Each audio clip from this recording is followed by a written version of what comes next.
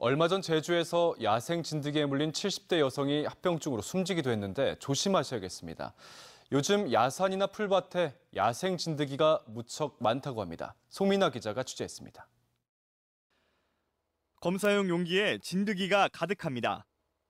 보통 야생 진드기라 부르는 작은 소 참 진드기로 며칠 전 남해군의 한 야산에서 길을 잃고 쓰러졌던 83살 이모 할머니의 몸에 붙어 있던 것들입니다. 저체온에 이제 그 구토, 뭐 설사 이런 증상들이 동반된 상태였고요.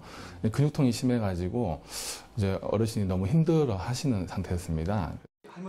야생 진드기에 물리면 중증 열성 혈소판 감소 증후군 SFTS에 감염될 수 있는데 노약자의 경우 합병증으로 목숨을 잃을 수도 있습니다. 실제로 이달 들어 전남과 제주에서 SFTS 감염자가 발생해 한 명이 숨졌고 지난 4년 동안 SFTS 감염 환자 339명 가운데 73명인 약 22%가 목숨을 잃었습니다. 풀숲에 주로 서식하는 야생 진드기는 동물의 피를 빨아먹고 사는데 성체로 자라는 봄철에 특히 적극적으로 들러붙습니다.